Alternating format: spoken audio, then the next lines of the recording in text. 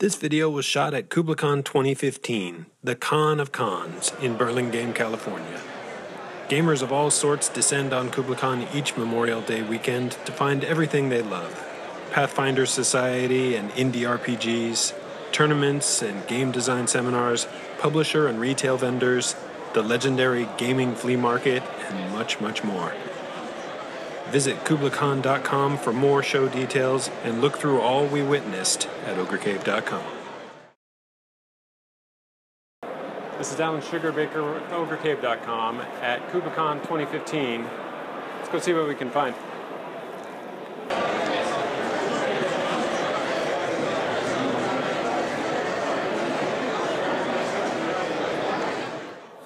Joe, you haven't been out to KublaCon for a while. I know, man. I'm glad to be back. Good to see you. We, we don't want you here. Get out. Damn it. Fine. I'm back to the interview. Oh, okay. Well, let- let's do that. Then get out. What, what's new for, for Goodman Games right now? So here's a couple cool things we're working on. Um, as you know, we publish adventure modules, Yes. Dungeon Crawl Classics. Something new that we're doing is publishing the sketch cover edition. So Mr. Doug Kovacs, who does the covers for our modules, he does these amazing sketches, which are comparable, in my opinion, to many of the finished pencil art pieces you'll see throughout the industry. Yeah. So we're doing alternate versions of the covers of his original pencil sketches, some Oh. of which are terrific images. Nice. Yeah. Yeah, so you'll see this on a lot of the upcoming covers and some of the con specials we do. So kind of like an Ashcan art edition. Exactly. Okay. Yeah, which is really neat. Um, something else we're working on for Free RPG Day, we have printed out these judges screens. Cool. So in uh, I guess about a month, you can go to your local store on June 20th and pick one up. Yeah. But we got them back from the printer and they turned out great. So it's Yeah. these three-panel screens at long Nice. last. DCC Yeah, yeah. fans have an official screen, and of course the inside has you know handy tables. All the handy things that you need to know during the game and how to kill the characters. exactly. Right. Well, that part's easy. But Oh, okay. okay. Yes, yeah, I know. cool. yes, that's right. I think you were actually weren't you in one of the original playtests that Pretty early, DemoCon pretty early. Way back when. I think. I believe I got killed by a, a critical fumble. Yeah, it was bad. I sort of remember that. Yeah. Uh, but anyway, the art on this is terrific. Each of these panels is new. It's not reprinted at all. Cool. Um, Yeah, it looks great. Yeah, it's really cool. Anyways, this is great. And then we have coming up. Um, you probably heard by now that we have the license to publish the works at Fritz Leiber. Right. So Fafhrd and the Grey Mouser, Lankhmar, all that kind of stuff. Yeah. Um, and we're working our way towards a big box set that'll come out. Nice. Yeah, probably into this year, early next year. But on our way there, we're doing these previews of different kinds of content. Um, and there's another one coming out. Uh, they're time to con. So Gary Con, we released this one, Mm-hmm. all about Ningauble and his cave. Um, in North Texas RPG Con, there'll be a book of patrons set in Okay. Leiber's worlds. Okay. Um, then Gen Con will have an adventure, and then eventually we'll get to the box set. Nice. So it's all very exciting. Okay. So that's all kinds of excitement going on here at the booth. I know it's just hard to contain myself. It was it was pretty active today. It seemed like. It was busy, yeah. Yeah. And uh, I guess we'll hopefully catch you next show. We might let you back in. Okay, I'll beg for permission. Okay. Joe, good to see you. Cool. Good seeing you, man. Thanks. Thanks.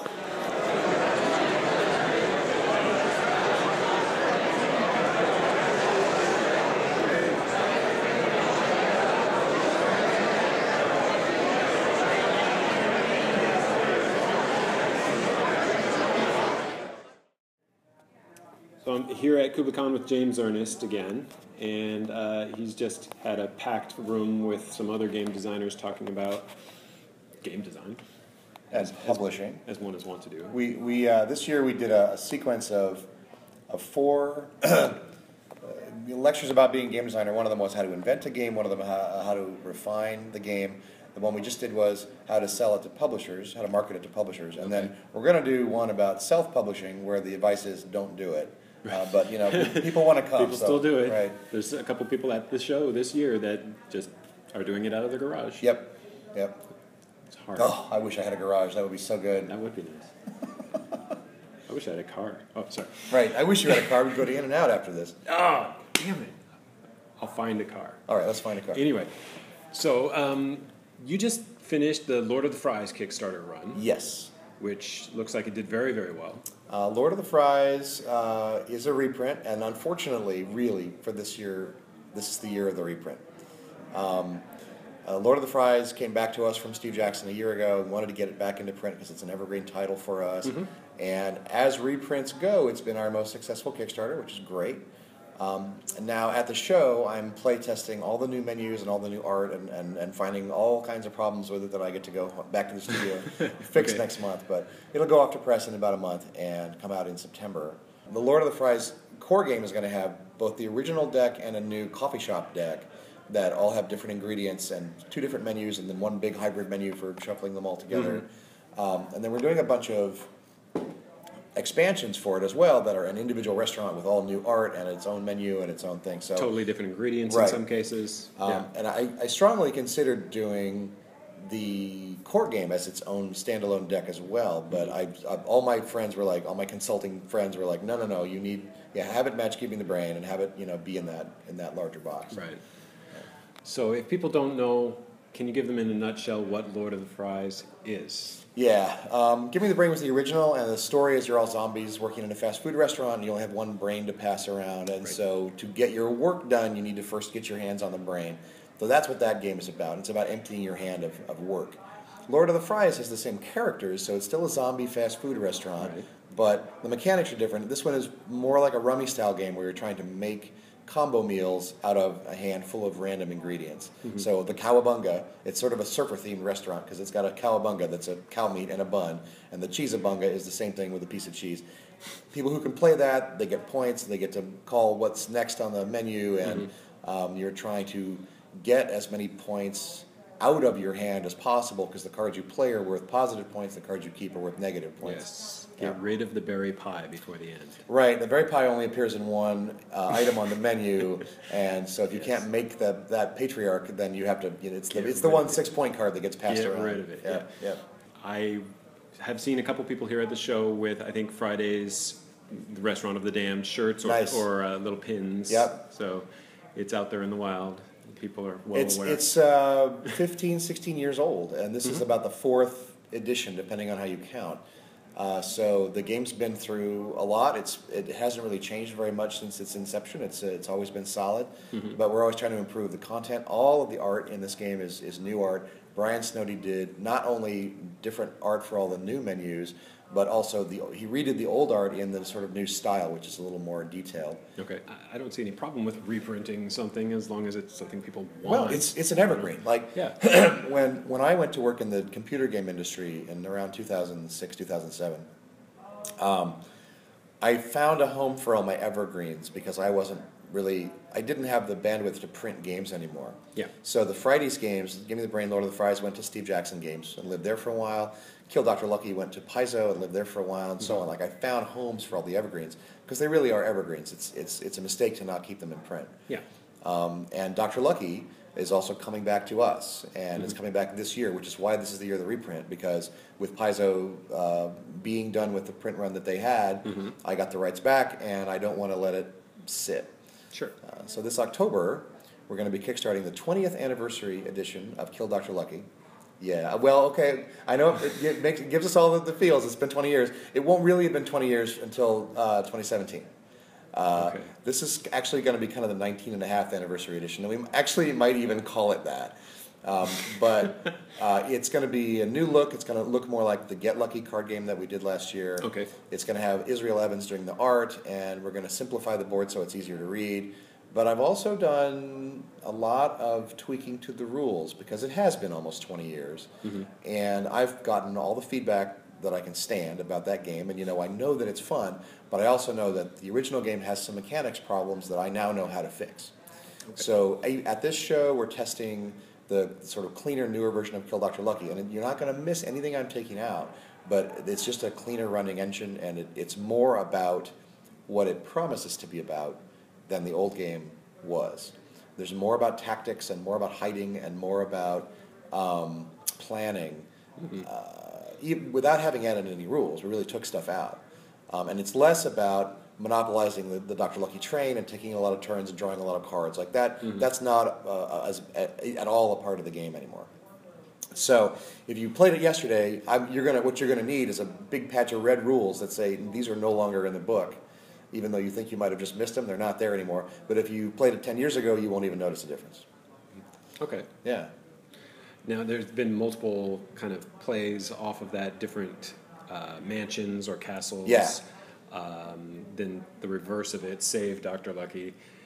Um, is any of that material going to end up in this release, or will it be kind of Well, you know, Kick- Kickstarter is this Yeah. octopus of projects, right? Yes, so right. Uh, I think the, the, the symbols for, for in Chinese for Kickstarter and overcommitment are, are the same.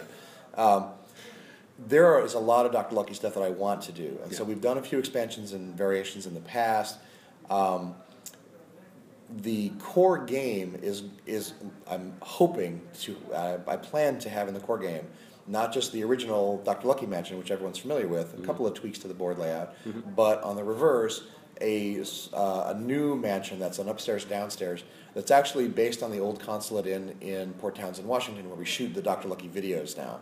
Ah, Um, uh, it- based on it, but you know, engineered to work in the game. With the upstairs downstairs map, it's going to be easier to shut off parts of the house for fewer players, which we are also doing on the main map by just sort of color coding sections of rooms. Mm-hmm. But if you only have two or three players, you're just going to play upstairs. If you have four or five players, you're just going to play downstairs. If you have a full complement, you can use the whole map. And that helps us sort of fine tune the, the, the balance of the game by sizing the map. right. Cool. Yeah. Okay. And, and for those who don't know, it's kind of Clue in reverse. Yeah, it's the story of Kill Dr. Lucky is is summed up in the title. In fact, how you win is summed up in the title. Uh, everyone is trying to kill Dr. Lucky. Everyone thinks they're the only person in the mansion who wants to kill him. So they're all working alone. If they could work together, it'd be a lot easier. But you're all working alone, trying to kill him. No witnesses. Uh, right, and, and no one can see you do it. And he's very lucky. So attempts happen left and right, and he just gets out of them because he's just, you know, like Mr. Magoo. He doesn't see what's happening to him, and he and he survives all these attacks and just keeps walking around his house. So it, it you know, like Clue, it has a top-down version of a mansion, but it's not a puzzle or a mystery-solving game or anything like that. It's just a I've got to kill this old man. And even if you start the game with sort of an ambivalent attitude towards murder, by the end you're like, I hate this guy. I cannot wait for him to Damn die. it! I've tried to kill him three times now. That's right.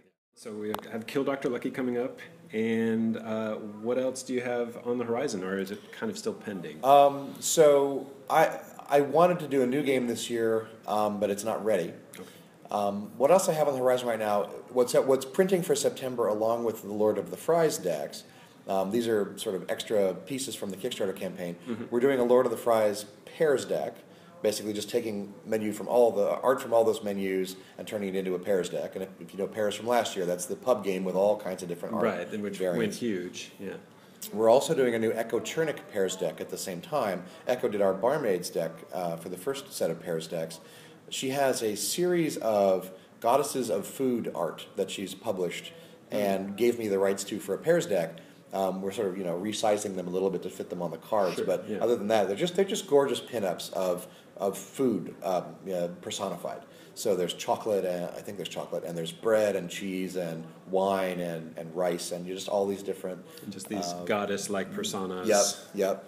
And I just I invented the variant yesterday at breakfast and play tested it this morning uh, for that game, and it's actually kind of cool. It's it's an Iron Chef style theme where you're making Oh, nice. recipes out of these cards, Yeah. and then seeing which one actually sort of wins the contest. Cool. Okay. Those are all printing now, or I'm, I'm sorry, they're printing for September. So I've got them in pre-production now. Um, I'm also doing preliminary design work on a game for Calliope. Uh, they're running the Titan series Kickstarter right now. It closes in just a few days, and that is a very ambitious project from Calliope to put um, nine, uh, actually more than that now, a dozen or more game designers uh, on a roster and, and have each one of them do uh, an original gateway game uh, for Calliope over the course of the next three or four years. So I'm on that. Actually, it's the first stretch goal, but they'll probably hit it. And so I'm working on a game for them. I'm uh, the working title is The Train, and it's it's basically just a game about building uh, cities in in Colorado. Uh, it's not. It doesn't need to be that specific, but it's Okay. you're building old old style cities, and you are trying to be the best city because one of them is going to be the capital city, and so you want to have the most points. Super super simple. I got a chance to play it yesterday with a nine year old, uh, and she got it. And for the state that it's in, that was great. That, that that satisfies me for the time being that I'm that I'm not making a game that's too complicated. Like she knew what she was doing. Uh, she was very close to winning. You know, she she and she didn't feel frustrated by it or anything like that, and that's Yeah. great. Because with a gateway game, you want families to be able to play it. Of course, I, I have my, my playtest group is all adults, and they, they understand it as well, and they, they enjoy it. But I don't want it to be over the heads of, of the youngest players in the room. That makes sense. Yeah. Well, great. Um, so it sounds like you're pretty busy. I have I have like this. This isn't actually my bag of games. This is some of my games. There's a, there's another bag bigger than this up in my room, full of stuff that I brought to this show to test, and uh, and I'm getting through it. But I still have quite a lot to do. I've got a lot of a lot of stuff I'm working on. Like even a new pairs variant takes a few runs to make it work. sure. Um, and all of the new Lord of the Fries decks. I got lots of good feedback this morning. I had a play test of about 30 people. Um, hmm. we had set up multiple tables and I had them all run through their menus and they came hmm. back and hit me with all the feedback, you know, and it's like, hmm. this sucks, this sucks, this sucks. And I'm like, okay, good, good. Okay, I can fix that. I don't know if I can fix that because that's been the rules for 20 years, but sure. You can't change that part. Well, I, It's in the name. I, I, I can change it, but but I haven't heard that from everyone. And so if it's a, if it's a grandfathered rule and like it's not a point of contention, then I'm like, okay, well, you don't like that, but I think I'm going to keep it. I'm sorry you don't like that. Right. There's the door. Right. I hope you enjoy leaving. No, no, I, I can't be like that. But but you know, I, I have to uh, with all the things that I've changed, I have to be a lot more careful with not changing it in the wrong direction. Sure. Yeah. yeah. There's a reason that it's been an evergreen hit. You Yeah. don't want to Yeah. chop down the tree. Yeah, I, and, and I think people will say that about Kill Dr. Lucky as well. That well, why are you changing it? Because it's been popular for all these years, and it's like, well, what's popular about Kill Dr. Lucky is the story and the general format, and I'm certainly not disturbing those. Right. Um, it's more like the specifics of how you get around and what you do in this game that I think uh, a small tweak to the mechanics does a, a big favor to, to delivering on the promise of the story. I think we've about covered it. Have we? I think so. Yeah. Thank you. Well, thank you very much, James. Good to see you. We'll see you next time.